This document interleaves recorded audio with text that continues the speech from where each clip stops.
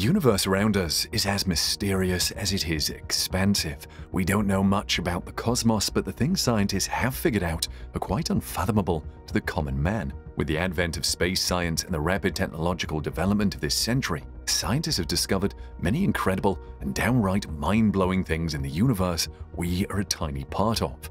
Our universe is often compared to a massive ball filled with galaxies, stars, and other giant physical objects.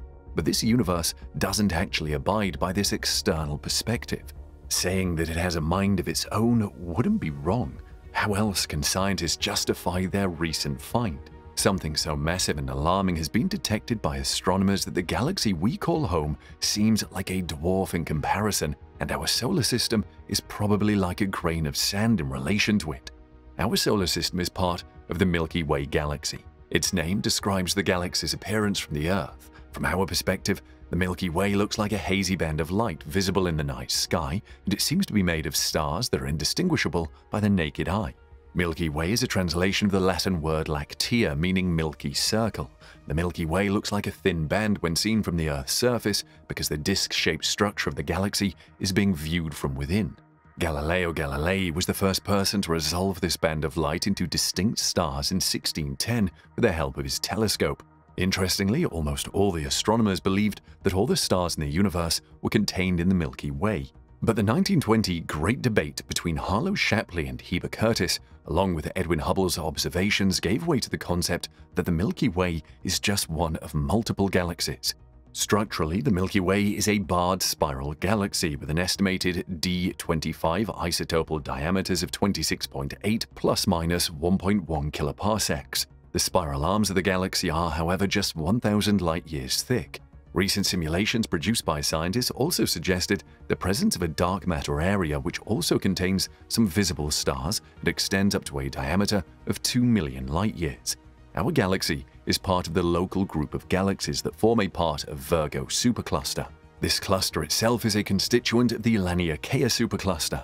The Milky Way also has several satellite galaxies, according to experts. There are approximately 100 to 400 billion stars in the Milky Way and at least the same number of planets. Our solar system is located at a distance of around 27,000 light-years from the galactic center on the inner edge of a spiral-shaped concentration of gas and dust called the Orion Arm. At the center of the Milky Way is an intense radio source called the Sagittarius A star, a supermassive black hole made of around 4.1 million solar masses. These stars and galaxies, located at varying distances from the galactic center, orbit around it at a speed of almost 220 kilometers per second. Scientists think this constant rotational speed contradicts with the Keplerian dynamics, and they've concluded that much of the Milky Way's mass is invisible to telescopes as it doesn't emit or absorb electromagnetic radiation, and this mass is what we now call dark matter. As a whole, the Milky Way is moving at an incredible velocity of 600 kilometers per second with respect to the extragalactic frames of reference. Researchers have now revealed that the oldest stars in the Milky Way are nearly as old as the universe and therefore probably formed shortly after the dark ages of the infamous Big Bang. Experts have also estimated that the Milky Way is one of the two largest galaxies in the local group, the other one is Andromeda, the mass of the Milky Way is approximately 890 billion to 1.54 trillion times the mass of our Sun. So far, astronomers, with the help of state-of-the-art equipment, have found that a lot is going on inside this one galaxy. Besides the hundreds of billions of stars and planets, there's also 10 billion white dwarfs, 1 billion neutron stars, and nearly 100 million stellar black holes. The space between the stars is occupied by a disk of gas called the interstellar medium. But a lot is happening outside the Milky Way too. In fact, recently astronomers have detected something extremely unsettling almost 730 million light-years from Earth. It wouldn't be wrong to say that astronomers have a thing for big explosions and collisions. They're always competing with each other to find a bigger and brighter one. And what's better than an explosion produced by two of the largest objects in the universe colliding?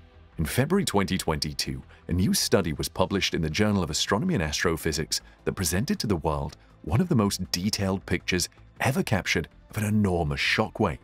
The Abell 3667 is the name given to a mesmerizing galaxy cluster. It is actually composed of two groups of galaxies colliding into one another.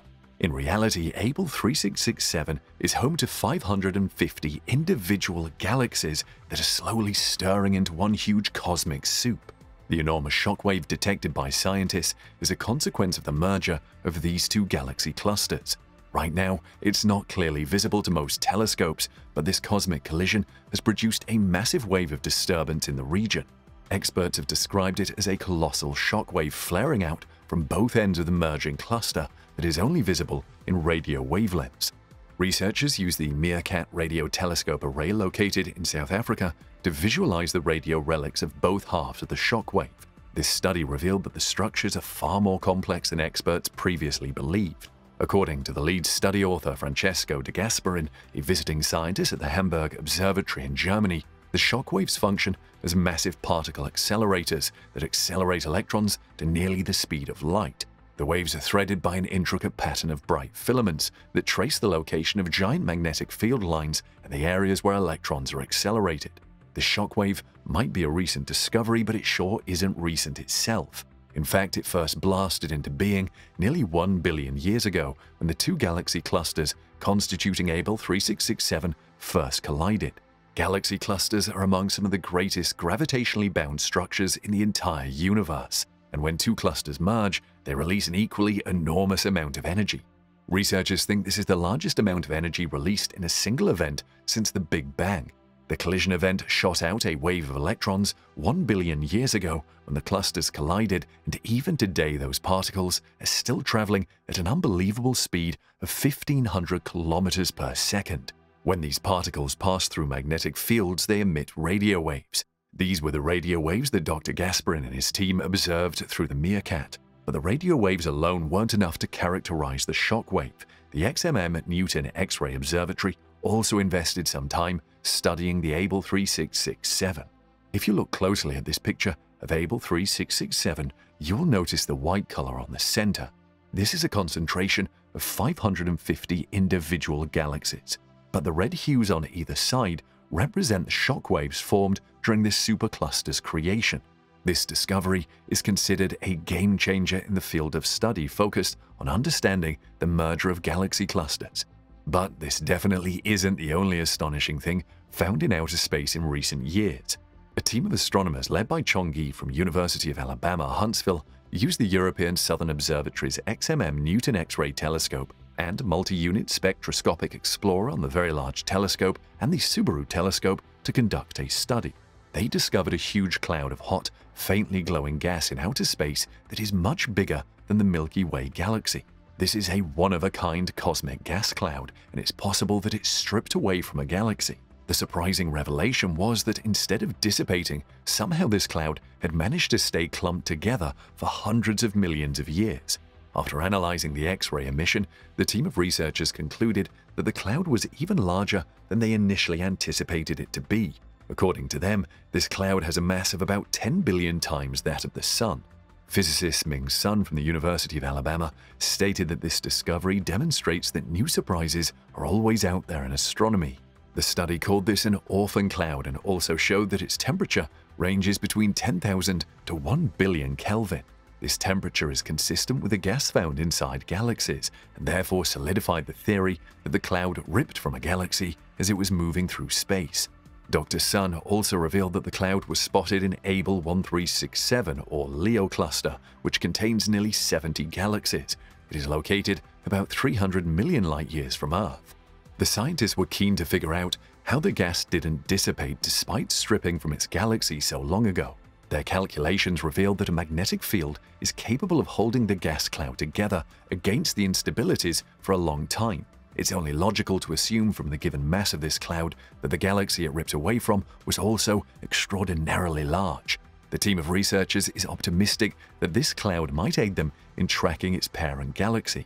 This data will also help scientists in identifying other similar clouds in the future.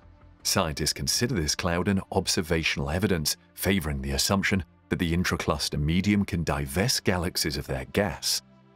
Sometimes the absence of everything ends up being a bigger dilemma for scientists than the presence of something strange. Back in 1981, University of Michigan astronomers were trying to calculate the redshifts of a great number of galaxies. They created a 3D map of the universe and as the map became fleshed out, they spotted something strange. Around 700 million light years from Earth, there was a huge void, a roughly spherical region almost 330 million light years wide was staring back at the researchers. This void could fit the Milky Way a billion times over, yet there was barely any galaxies there. At first, it was called the Great Nothing, but later it was named the Boötes Void. This was because it apparently lies in the constellation of Boötes, the herdsman who drives the plow around the North Pole. Many detailed maps of the universe have been created since then, and we know now that most galaxies are found in form of long structures called the filaments that wind through the cosmos. Between these threads lie huge empty voids with very few galaxies. It turns out these voids constitute around 80% of the observable universe, most of these are 30 to 300 million light-years across. Boötes is one of the largest voids out there and is therefore called the supervoid. Some scientists believe that many smaller voids merge together to produce Boötes. But why do these voids exist? Well, in the early days of the cosmos, the universe's matter was tightly packed together like a uniform soup. However, random quantum fluctuations started creating small differences in the distribution of matter. Because of this, some areas became denser than the others. This meant their gravitational pull was also greater, so they pulled away the matter from less dense areas. This rendered them even more dense in the other areas less dense, and so on. The universe was expanding at a fast speed at the same time, and the fluctuations that began on a quantum level soon spanned hundreds of millions of light years. The smaller clumps began organizing themselves into galaxies, while the voids kept growing. Such discoveries and more helped the scientists gain a window into what the universe looked like in its earliest moments. Though the revelation of more and more secrets from space is also terrifying, as it only proves that we know very little about the endless universe around us. But experts believe no amount of fear should stand in the way of acquiring as much information about outer space as humanly possible. Do you agree? Tell us in the comments.